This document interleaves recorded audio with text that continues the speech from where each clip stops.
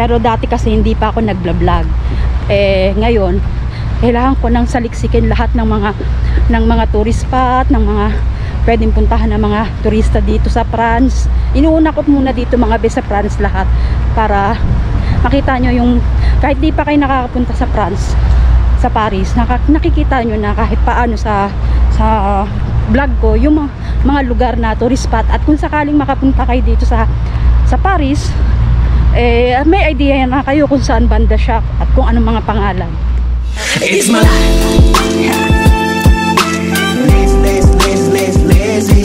It's my life.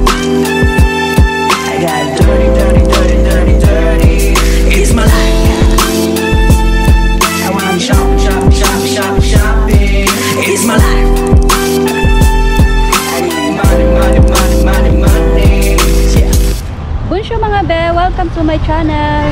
So today mga be, ang gagawin natin, ipapakita ko sa inyo yung replica ng Statue of Liberty ng kagaya sa sa sa Amerika. so, para makita nyo mga be ang Statue of Liberty dito sa Paris. So, kung bago lang kayo sa channel ko, please subscribe na and pakiclick ang notification bell and pakilike and share na rin mga be para updated kayo sa lahat ng aking mga videos. So, samahan nyo ako today mga be sa ating journey. So, nandito ako ngayon sa Birhaken mga be. O, tutuntinin natin yung lugar.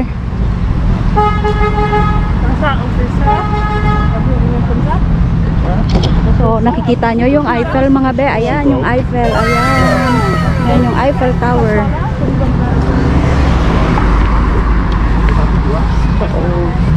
Lakad tayo mga be. Time check is 3.20 ng hapon dito. What? So, kainitan. So, ayan, mga bangka. Pwede kayong sumakay dyan, mag-cruise. Ganyan. Ayan yung Eiffel. Nakikita nyo mga be? Ayan yung Eiffel Tower. Kala nyo sa Amerika lang meron nun mga be, no? Ah, may, ka- may kakasal. May iksasakal. May kakas may sasakalin. So ito, daanan to ng train station. Ginagawa yung ilalim niya. Ayan. Ang Eiffel Tower. So, turn left tayo dyan.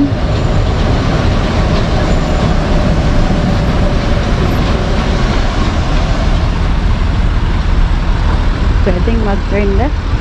Mukhang sarado. Ay. Oh, yung ikakasal ang ganda. потому что мы куда заехали, я вообще не хочу. Tayo. Mga eh mga mga Arab ang ikakasal isasakal. O yan si tatay. Nagmamagi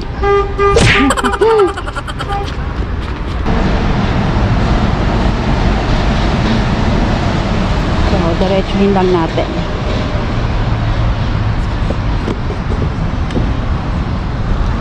So tignan nyo mga be yung tulay. Ang ganda ng tulay. May nakaukit din na ano ayan kung nakikita nyo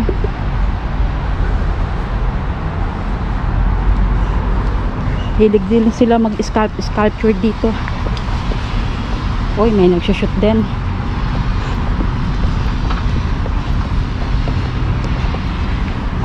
so tuntunin natin yung statue of liberty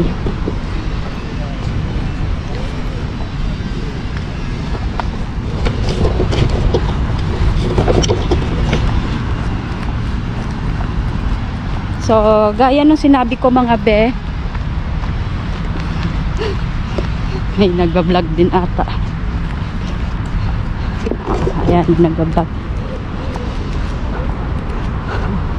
Ayan. So, gaya ng sinabi ko mga be, next week meron akong announcement. Hindi naman totally big announcement. Pero surprise, ano, surprise siya mga be. At siguradong matutuwa kayo. Wow! Sa i-announce ko mga be. Galing pala akong today sa ah sa telephone company kasi binalik namin yung yung box namin ng internet kasi pinaputol na namin at kumuha kami ng panibago ng internet box. Hindi sa kanila ibang company na kasi medyo malaking binabayaran namin sa kanila. Ah, isipin nyo mga be ang binabayaran ko sa kanila monthly 75 75 euro. What? monthly yun ah. so kulang-kulang kulang-kulang 5,000 monthly ang binabayaran ko sa kanila itong bago na nakuha ko na internet is medyo mura. Kaya hinihingal ako. Nahihirapan kasi ako huminga dito sa Masco mga be kaya parang lagi ako hinihingal. So ayan ang ganda ng daan dito.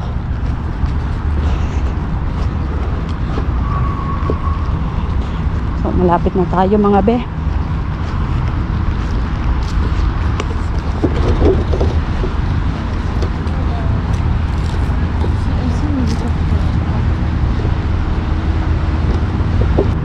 So itong Statue of Liberty mga be is ano lang to ha? Replica, hindi to katulad sa New York. Replica lang siya. Hindi to ang original.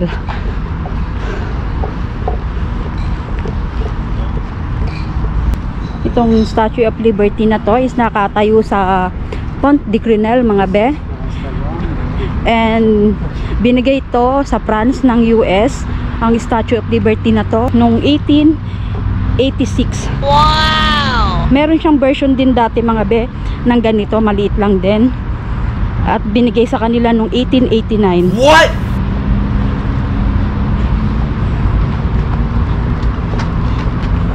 pero smallest ano lang to mga bis smallest version lang to ng Statue of Liberty ah. so ulitin ko itong Statue of Liberty mga be is nakatayo siya sa Pont de Grenelle kung mapapadpad kayo di sa Paris and galing to sa Amerika dahil binigay sa France ng Amerika tong Statue of Liberty noong 1886 so small replica ng ano ng ng Statue of Liberty na katulad sa New York. So malapit na tayo mga be 6 minutes ah, ah, walk na lang. What? Nung bago lang ako dito sa Paris, mga be, dito ako malapit nakatira sa sa Pont de Grenelle na to.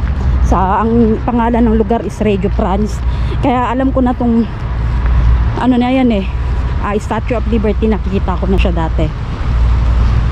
Pero dati kasi pero dati kasi hindi pa ako nagblog Eh ngayon, kailangan ko nang saliksikin lahat ng mga ng mga tourist spot, ng mga pwedeng puntahan ng mga turista dito sa France.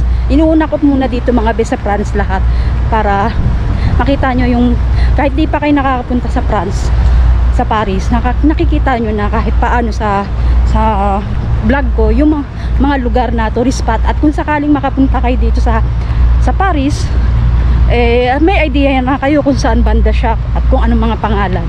Okay mga be? So yan. Yan isa sa cruise na pwede mong sakyan pag gusto mong mag cruise ng bangka. So yan malapit na tayo.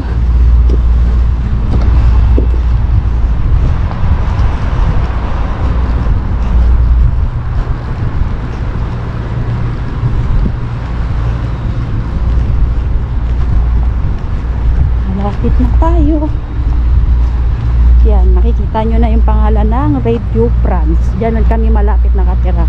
Nung bago pa lang ako sa Paris, nakitira ako sa isang Pilipina. Diyan sa lugar na Radio France. 2011, maikwento, maikwento ko lang sa inyo mga be, ah, 2011 nandito na ako sa Paris. Ah, actually, nasa, galing akong Middle East, Abu Dhabi. Ah, nagtrabaho ako sa bahay sa isang pamilya doon and 6 months lang naman ako nagtrabaho sa kanila And after 6 months, normally dalawang pamilya na trabahuan ko dun eh. Una, ang naging amo ko, may kwento ko na lang din. ang naging amo ko is mga ni ano, Arab. So 3 months na ako nakapagtrabaho, binalik nila ako sa agency ko dahil nga nagkasakit ako, hindi ako makapag hindi ako makapagtrabaho ng maayos. Kasi nga madaling araw pa lang is naglilinis na ako ng kotse, dalawang kotse yun ng amo ko. So pinasok ako ng parang lamig. Hindi ako makatrabaho ng maayos, lagi ako nahihilo. So naasar siguro sila sa akin. Binalik nila ako sa agency ko. Nang three, after 3 months, nagtrabaho ako sa kanila, binilik nila ako. And then, nung may kumuha uli na pamilya, ang asawa is Chinese, yung lalaki is ah, Moroccan. Yun, yun doon ako nagtagal ng 3 months din. Sila nagdala sa akin dito. And kinento ko na yung buhay ko. And then nung nagpunch pumasyal kami rito, nagbakasyon kami dito kasi may bahay sila rito. Noong unang punta ko, kasi dalawang beses kami nagpunta. Noong unang ah, bakasyon namin dito ng isang linggo, hindi pa ako tumakas. Kasi, pero meron na akong, may nakausap akong Pilipinas sa park na ganito, ganyan ang mga, ano dito sa Paris, sahod, ganyan, maganda daw. Parang nainganyo ko. Eh, nung dalawang, pangalawang beses na na, nag ano, nag, na pumunta kami dito nung 2011, June yun, June. Summer din nun. Yun, nagkaroon na ako ng lakas ng loob na tumakas. So, tumakas na ako. Ayun. Yun ang buhay ko mga be. Kaya ako napadpad dito sa Paris. Siguro, ganun talagang kapalaran mga be, no? Hindi mo talaga maiisip kung anong guhit ng palad mo. Hindi ko talaga lubos maisip mga be na mapaparating ako dito sa ano, sa Paris. Kasi normally sa Middle East lang talaga yung pinasukan kong trabaho. So, sa awa ng Diyos, talagang mabait si Lord. Kahit minsan pasaway tayo, gumagawa talaga si Lord ng ikakabuti natin, di ba mga be? So, malapit na tayo mga be. And then, yun na yan na. Yan ang Statue of Liberty mga be. Maliit lang yan mga be ha. Replica. Small replica ng Statue of Liberty. Hindi yan katulad nung sa New York na talagang malaki yung sa New York.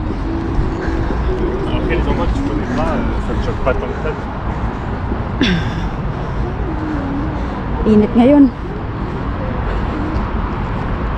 Yan, naglalaki na rin yung mga building dito. Yan yung Radio France.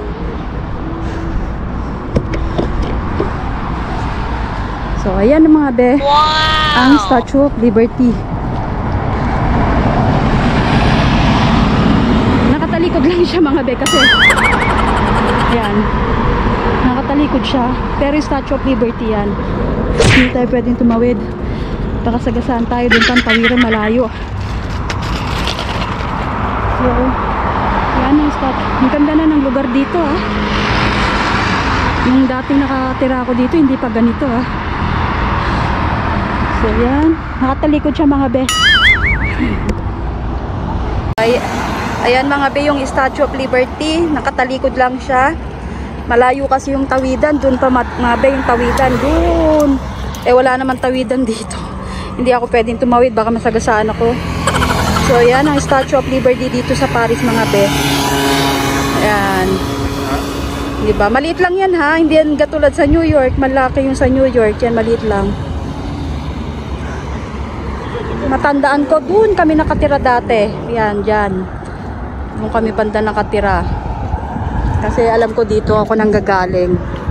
So, ayan, may mga turista rin na nagpipicture sa Statue of Liberty.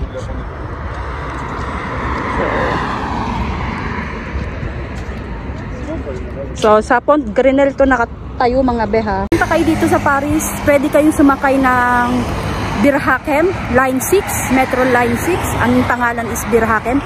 Bumaba kayo and then lak- lakad kayo lang ng konti, mga 7 minutes lang yung lakad. Then mararating nyo na tong Statue of Liberty. so, ayan mga be. So really, you ain't gonna hit me back, yeah. Now it's all just you got me on blast, damn. So hanggang doon na lang mga be yung aking video. Sana nagustuhan nyo yung pagpapakita ko ng Statue of Liberty na yan. Na replica dito sa Paris. So kung bago lang kayo sa channel ko, please subscribe na and pakiclick ang notification bell and pakilike and share na rin mga be para updated kayo sa lahat ng aking mga videos. So salamat sa mga bagong subscribers ko.